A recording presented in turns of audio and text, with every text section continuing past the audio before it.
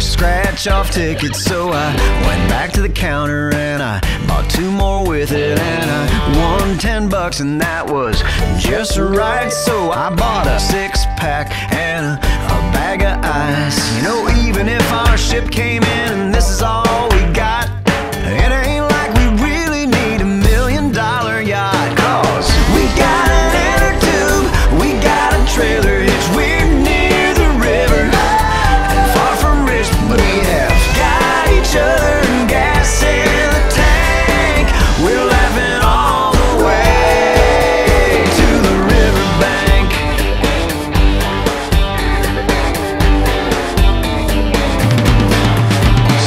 can you imagine if we ever struck it? I'd go shoot tequila, take a lime and suck it. And we'd tell our bosses they can do the same. We'll find a big cruise ship and buy the whole